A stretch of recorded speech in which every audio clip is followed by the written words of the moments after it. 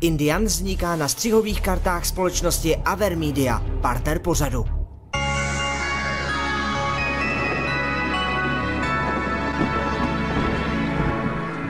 Dobrý den, dnes můžeme očekávat příliv horkých herních titulů.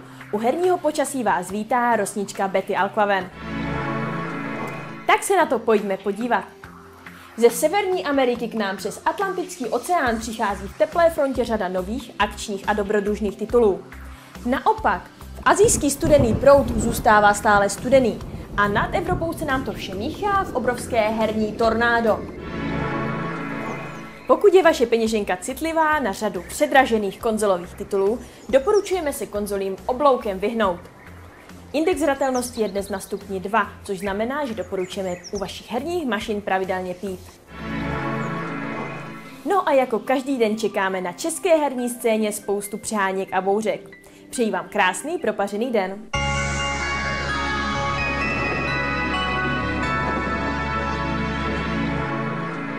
Televize Metropol uvádí pořad o hrách pro každého Indian.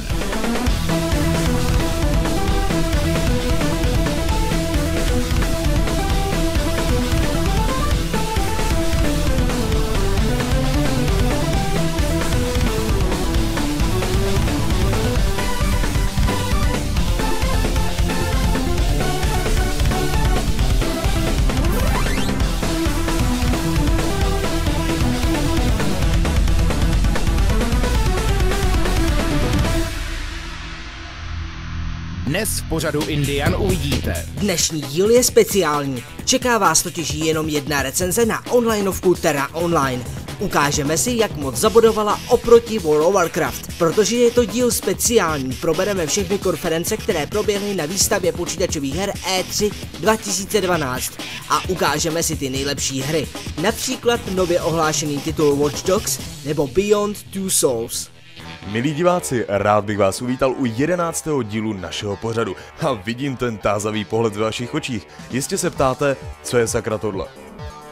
Jak co? Dobrá, jsi živá bytost, kdo je sakra tohle? Mě přece každý zná, já jsem Betty a jsem tu dneska místo Fioli, protože máme díl o E3 a myslím si, že o E3 vím víc než on. Přece není žádná pravda. Fiola toho o E3 ví taky hodně a možná, že dokonce i víc než ty. Fiola tady není hlavně proto, že je nemocný. V příštích dílech Indiána ho určitě ještě uvidíte. Pokud neumře. Oh, radši se vrátíme na zpátek k tématu našeho pořadu. Proběhla videoherní konference s názvem E3 a náš tým Indiana byl samozřejmě u toho. Na našich stránkách jste mohli vidět živý komentovaný přenos, který jsme dělali společně s Games.cz a vydrželi jsme to až do úplného rána. A moc jsme si to užili. Celý několika hodinový komentář můžete vidět přímo v našem archivu. Pokud ale nemáte dostatek času na to, abyste ty několika hodinové prezentace zkoukli celé, nebojte se, smrskli jsme vám všechny informace do jednoho malého dílu. Tak se na ně teď pojďme podívat. Electronic Entertainment Expo je každoroční výstava konzolí, her a prostě všeho, co má co dočinění s elektronickou zábavou. Koná se tradičně v Los Angeles a kromě desítek stánků herních studií a společností pořádá pět největších vydavatelů své velké show. Microsoft, Ubisoft, Electronic Arts, Sony a Nintendo představili svoje chystané hry a technické novinky na poli konzolí. Na to nejzajímavější se teď podíváme. Microsoft se na letošní konferenci zaměřil především na svůj stávající Xbox a Kinect, takže bohužel veřejné tajemství o nové generaci konzolí zůstává stále tajemstvím. Dočkali jsme se však ukázky rozšířování stávajících služeb. Hlasové ovládání u Kinectu není sice žádnou novinkou, zajímavé je však podpora více jazyků. Bohužel čeština zatím chybí. V praxi to vypadá tak, že na Kinect mluvíte a on vám vyhledává jak na internetu, tak i ve vašich sbírkách hudby, filmů a her. Logickým krokem je i integrování internetového prohlížeče s plnou podporou flashe. Nejzajímavější je technologie Smart Glass, která propojí Xbox, počítač a mobil nebo tablet do jednoho celku. Díky tomu můžete dotykové zařízení použít jako myš. Na mobilu se během filmu zobrazují doplňující informace, sdílení médií také bude jednodušší. Uvidíme, jak se k této technologii postaví spotřebitelé. Doplňkové funkce mohou být pro někoho zajímavé. Dále Microsoft představil distribuci internetové televize, kdy za přeplatné můžete sledovat filmové, sportovní a další kanály. Tento obsah obsah je z části dostupný v Česku. Při plném pokrytí tak můžete sledovat například celé HBO nebo si pořídit jen daný film nebo seriál, který stanice vysílá. U sportovních kanálů se nejčastěji předplácí sledování celé sezóny. Zatím nic moc o hrách, že? No tak tady je. Hrách. Konec tipkování Microsoft si nakonec uvědomil, že je na konferenci pro hráče a oznámil hru Halo 4, která je prvním dílem v nadcházející trilogii, pokračující v příběhu po Halo 3. Zajímavostí je, že se autoři budou snažit využít adventurní prvky, jako má například Uncharted nebo nový Tomb Raider, a kromě střílení se tak zaměří i více na příběh a vyprávění. Nová Forza odbočí ze zaběhnuté série a nabídne arkadovější jízdu a to nejen na závodních okruzích, ale i v terénu. Když už jsme u odboček, dočkali jsme se i ukázky Fable Fable na Kinectu, kdy chodíme světem Fable a mácháním rukama zabíjíme vše živé, no snad se to povede. Dále jsme se dočkali odhalení dalšího dílu Gears of War. Rytmicky nadaní jedince jistě uvítají taneční hru Dance Central 3 a v přípravě je i nový Splinter Cell s podtitulem Blacklist. Jehož příliš akční trailer fanoušky moc se potěšil, ale autoři slibují, že si plížení a improvizaci užijeme až až. Největší ovace si ale nakonec odnesla hra South Park The Stick of Truth, která podle ukázky bude překvapovat humorem a nadsázkou a to máme rádi. K nahlédnutí byly i záběry ze hraní nového Tomb Raidera, kdy Lara předváděla široký repertoál pohybů a hekání. Dále byl k vidění nový Resident Evil, který nepředvedl bohužel skoro nic. A tradičně jsme se dočkali i Call of Duty, tentokrát Black Ops 2, ve kterém se podíváme do války budoucí a od kterého čekáme kromě střelnice i v celku zajímavý příběh, jako měl první Black Ops.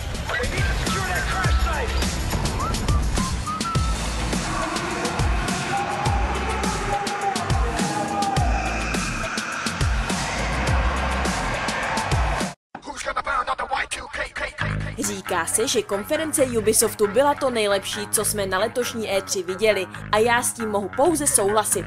Celá show byla zahájena vystoupením Floridy a půvabných tanečnic a za nimi běžela na plátně hra Just Dance 4, což je výborná zpráva pro všechny fanoušky tanečních her. K tomu bude k dispozici i na Wii U.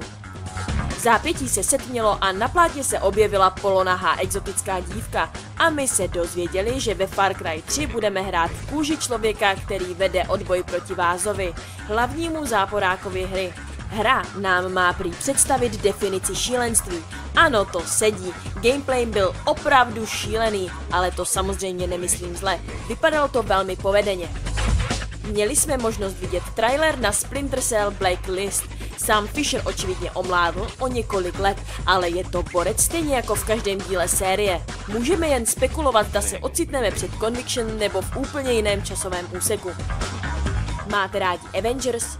Ubisoft nám nachystal hru, kde se setkáme se spoustou superhrdinů, včetně těch, co jsou známí z filmu. Představujeme vám Avengers Battle for Earth. Nyní se pojďme věnovat line-upu Ubisoftu pro Wii U.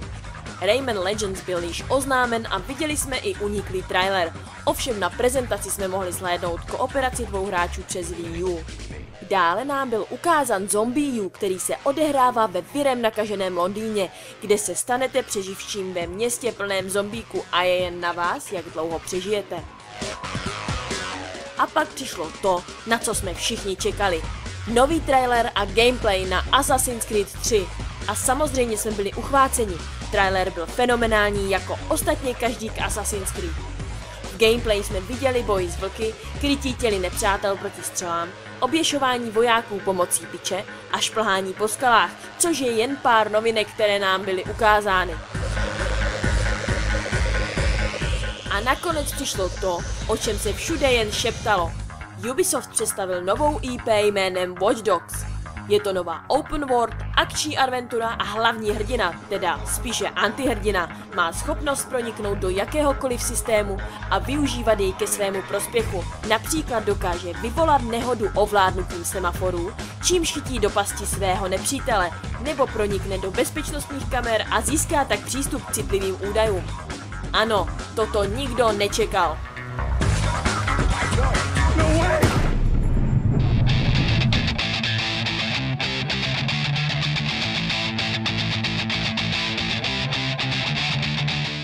Konferencia Electronic Arts začala vo veľkom štýle, ukazujúc zostrých titulov zo známych herných sérií a v tomto duchu sa aj pokračovalo. Ako prvý nás zasiahol Dead Space s poradovým číslom 3. Okrem hlavnej novinky a síce novej hrateľnej postavy spojenej s kooperáciou nás prekvapil aj fakt, že Isaac sa naučil kotúľ. Dej sa okrem iného bude odohrávať konečne aj na planéte, hoci zamorenej nekromorfami. Z vesmíru sme sa presunuli na ihrisko, kde banda opancierovaných Američanov po sebe hádzala šišatú loptu. Madden 13 má oproti minulému ročníku priniesť reálnu fyziku, čo znamená, že držkopády virtuálnych hráčov amerického futbalu budú konečne vyzerať prirodzene. Všetky herné účty budú prepojené v akejsi športovej sociálnej sieti a to isté platí aj pre novú FIFU 13, ktorá okrem svojej verzie sociálnej služby s názvom Football Club prinesie aj reálnejšie správanie lopty, vylepšenú fyziku a umelú inteligenciu hráčov. Taktiež si budeme môcť pomocou svojho EA účtu preniesť štatistiky do všetkých nasledujúcich verzií FIFA. Tento rok navyše štartuje úplne nová športová séria s názvom UFC, teda Ultimate Fighting Championship. UP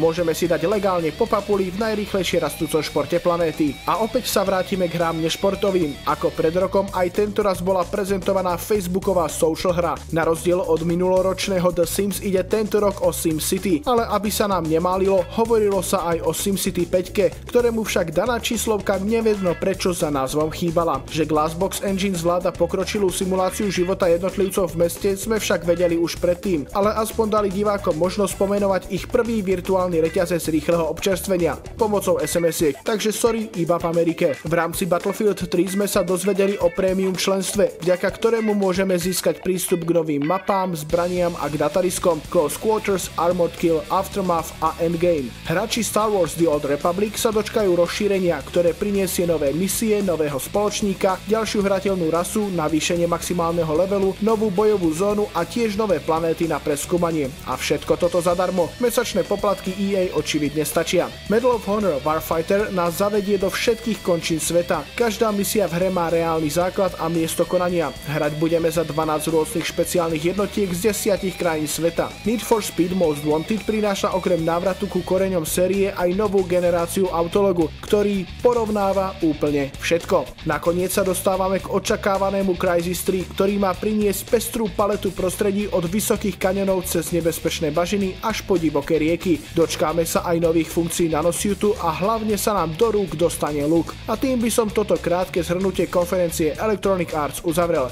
God save the Queen. Tak a teď si dáme pauzu, jsme v půlce pořadu a já bych se chtěla Gilua zeptat, co se ti na konferenci nejvíc líbilo? No, z toho, co jsme zatím měli možnost vidět, mě asi nejvíc zaujalo nové SimCity.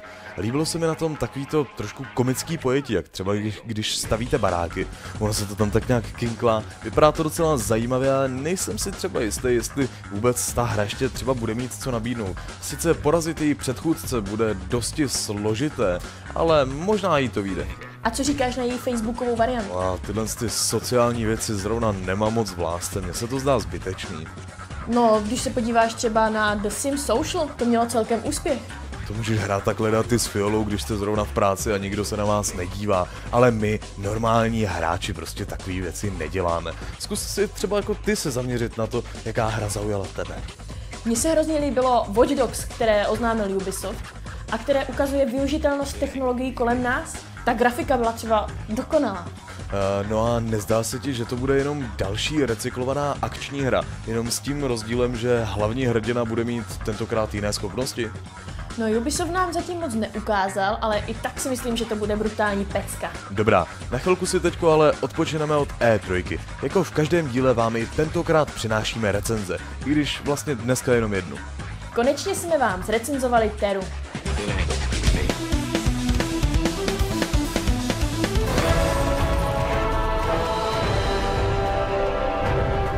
MMO hry nerecenzujeme často, ale Terra nás už na první pohled zaujala a to jak pohlednou grafikou, tak i zajímavým nápadem na přenesení taktického soubojového systému do online RPG hry. Na výběr je sedm ráz tedy jak lidé elfové, tak i postavy, ze kterých východní styl přímo tryská proudem. Povoláních je osm a přijdou si na své milovníci kontaktních zbraní, střelci a čaroví magiči. Každé povolání je specifické a tak se tu otvírá prostor pro taktizování na úrovni gildy, tedy skupiny hráčů. Nováčkové online světě jistě ocení počáteční úkoly, které vás naučí používat vaše dovednosti a objasní ovládání hry. Pokud máte s MMO hrami zkušenosti, je počáteční fáze možná až příliš zdlouhavá a při opakovaném hraní s novými postavami se prvních pár úrovní budete nudit. Hra se začne rozjíždět někdy kolem 20. úrovni postavy, kdy počáteční vedení za ruku skončí a vy budete čelit celému světu. S rostlem a vysněném dvěma titány, na které se žene hrozba z podsvětí, kterou samozřejmě musíte zastavit. To, co odlišuje Teru od konkurence, je soubojový systém. Nestačí si označit protivníka a používat dovednosti. Vy sami musíte k protivníkovi přijít, vzít palici a praštit ho po hlavě. Sami musíte natáhnout luk, zamířit a vystřelit. Žádnou pomoc v soubojích, jako je automatické míření nebo odrážení v kontaktním souboji, nečekejte. Pomocí úskoků se tak protivníkovi můžete dostat dozad a zasadit mu kritickou ránu, ale to samé může udělat i on vám a tak souboje nejsou jen o statistikách a vybavení, které používáte, ale i o vašich dovednostech jakožto hráče. Mlácení a střílení je tak o mnoho zábavnější a za povedené zpracování dávám palec nahoru. Další věcí, kterou se teda liší od velké většiny online her, je grafika. Autoři použili upravený Unreal Engine, který spolu s nádhernou východní architekturou vytváří úchvatné scenérie. Korejský styl je poznat i na postavách a neb.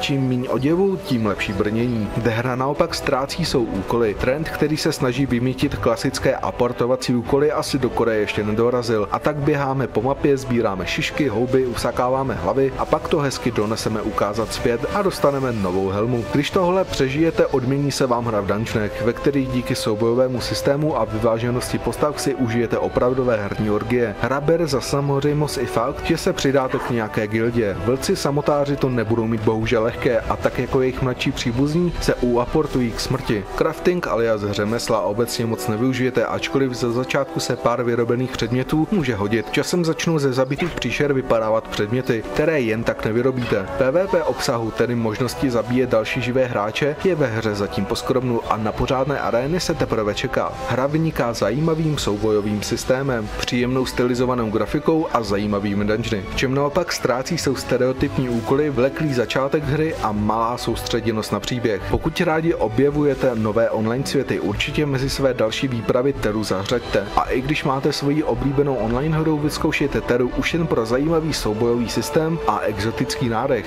Za tým Indiana dávám 80%.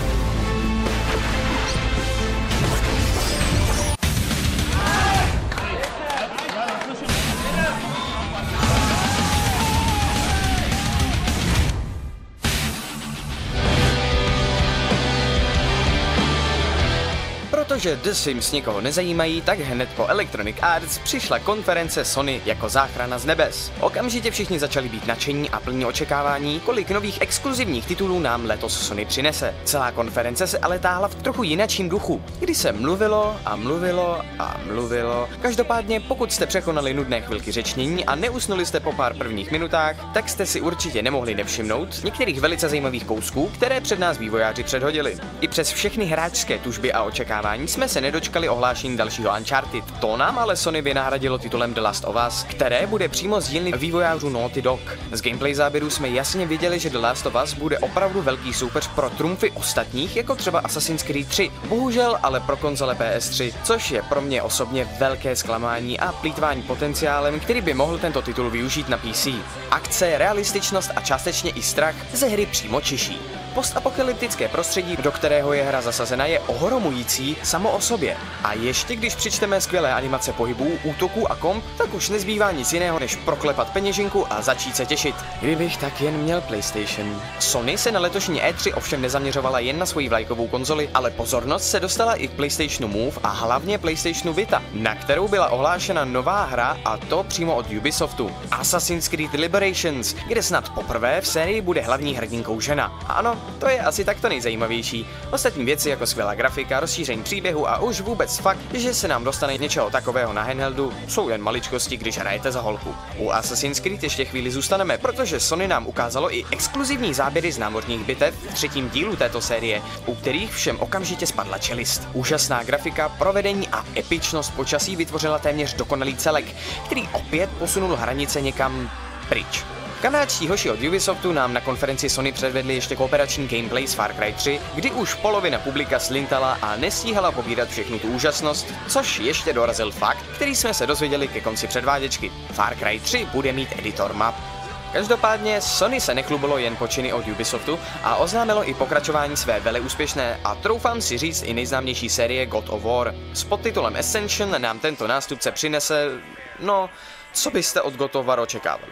Víc krve, více vraždění, více zbraní, více komb a více hodin proseděných doma místo dělání užitečných věcí. Sony svou konferenci zaplnilo méně i více důležitými informacemi. Já osobně jsem si ale jako nejdůležitější vzal oznámení pokračovatele Heavy Rain a to je hra pod jménem Beyond Two Souls. Tam se emocionálně vžijeme do Ellen Page, novinářsky z již zmíněného předchůdce, která očividně má trošku víc síly, než měla v původní hře. Měli bychom se dočkat velice smíšeného herního zážitku plnému jak akce, tak emotivních zvratů, scenaristických kliček a ubrečených kapesníků. Opět jsem se chytal za hlavu, když jsem si uvědomil, že tento titul je opět jen na PS3. Celá konference stála rozhodně za to. Sony nás úspěšně nakrmilo, až překrmilo jak starými, tak hlavně novými hrami. Při přestávce museli poslat do hlediště místě uklízeče, protože publikum se doslova poslintalo blahem.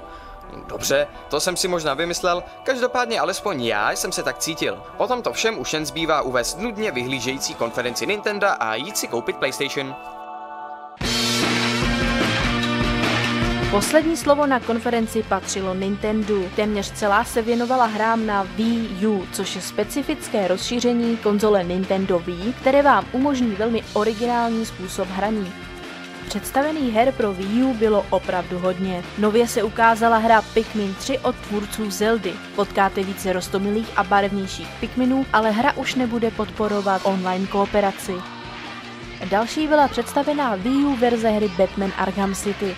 V rozšířené obrazovce budete mít vždy přehled nad zbraněmi, které nosíte stále sebou. Nebude chybět skenování prostředí a následné odhalování nepřátel. Velmi působivě vypadá systém házení batarangu. Prostě hodíte a nakláněním měníte směr letu až k cíli. Scribblenauts s podtitulem Unlimited rozvine vaši kreativitu. Díky editoru si můžete do hry vymyslet vlastní postavy a hrát za ně. Dále proběhlo představení hry Lego City Undercover. Jelikož jste v roli hrdiny města, nečekají vás jen klidné procházky a bourání kostiček, ale musíte z ulic vymítit zlo. Opravdu dobře vypadá interakce s herní mapou, která znamená konec věčnému bloudění. Těšit se můžeme i na LEGO humor. Oznámen byl vývoj hry Sync, která propojuje oblíbené karaoke s tancem. Stačí, když máte v ruce své Wii U a nemusíte stát zády ke svým přátelům. Na Nintendo konferenci také nechyběla zmínka o Wii U Fit, Přichystá si pro nás další způsoby cvičení a spočítá nám spálené kalorie. Pro Nintendo 3DS byla oznámena hra Mario Bros. 2, od níž můžeme čekat více zlata a zachování hratelnosti. Paper Mario Sticker Star překvapilo svým samolepkovým konceptem. Ty představují nový logický potenciál hry, můžete je například lepit na sebe a tvořit schody.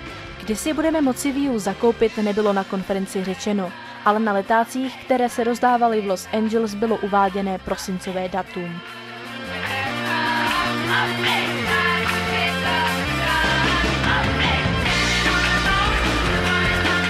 Už jsme se dostali na konec našeho pořadu a myslím, že oba dva se shodneme na tom, že Wii U vypadá naprosto bombasticky. Určitě vypadá výborně a proto se na něj blíže podíváme v některém z dalších dílů. V dnešním díle jsme si zrecenzovali hru Terra a pokud se vám líbila, můžete si s námi o ní právě teď zasoutěžit. Je to jednoduché, stačí uhodnout název hry, která za chvíli poběží na obrazovce. Ani tentokrát to nebude nějak zvlášť těžké. Smyslný tón skvělé hudby vám dá jasný signál, jakou hru máte uhádnout. Ještě vám poradíme, že se jedná o předchůdce Terry Online. Soutěžíte o plnou verzi hry Terra Online s 30 denním klíčem k tomu. Dva z vás získají jak hru, tak i tričko s herním motivem. Správný název hry nám zašlete prostřednictvím formuláře na indian.tv.cz do 24. června, kdy je uzávěrka soutěže. Ceny do soutěže věnovala společnost Playman SRO. A jsme na konci. Nezapomeňte nás sledovat na našich stránkách, kde najdete bonusový materiál v Indian Extra. Na starší díly našeho pořadu se zase můžete kouknout v archivu televize Metropol. A když nás budete sledovat na Facebooku, dozvíte se ty nejčerstvější informace. V neposlední řadě musíme připomenout také Twitter, kde se nějaké ty informace též nachází. A pokud chcete, můžete nás ohodnotit na ČSFD. Takže palce nahoru a za týden ahoj.